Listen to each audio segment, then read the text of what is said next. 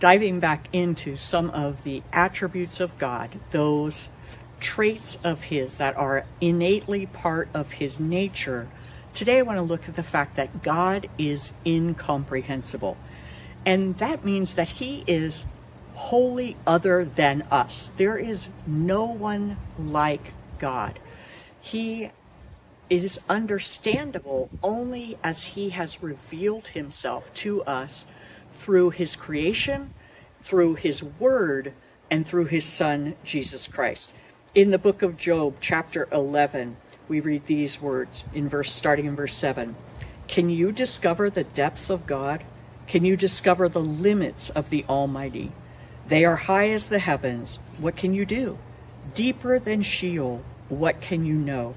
And then in Isaiah chapter 55, verses 8 and 9, verses that might be familiar to you, God speaking says, My thoughts are not your thoughts, nor are my ways, nor are your ways my ways, declares the Lord.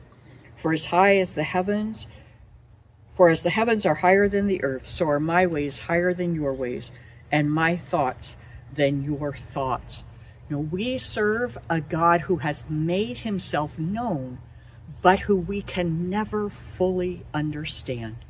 And yet he, who doesn't need us, who is complete without us, who doesn't rely on us for assistance, has chosen to make himself known. So today I would encourage you to ask yourself if God, who is incomprehensible, has chosen to make himself known to me, what am I doing to get to know him better? How am I spending time learning about the things that he has revealed to us? Am I in the Word? Am I studying the life of Jesus? Am I asking the Holy Spirit to reveal God in, even in creation? Am I asking Him to reveal God to me? so that I will never understand all of God, but I can understand as much as He has revealed. And that requires some effort on our part.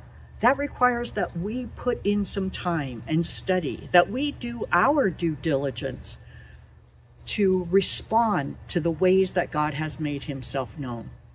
We have a God who we can never fully comprehend. And I think that that is a comforting thought because if I could fully comprehend God, then He would be limited to my understanding. And I'm somebody who forgets where they put their car keys on a regular basis. The fact that God is so far beyond me, so wholly other than me, gives me confidence that I can trust His wisdom, that I can trust His just, justice, that I can rely on His goodness, that I can rest in His love. So I would encourage you today get to know God better. He has made Himself known, and we need to do our part to learn how to understand what we can of Him. We don't do that just by sitting back and watching television or scrolling through social media. It does take some time and effort on our part, but I would say to you, it's completely worth it to know the God who created all things, who holds all things together, and who loves us so much, he made a way for us to spend eternity with him in his restored creation. Amen.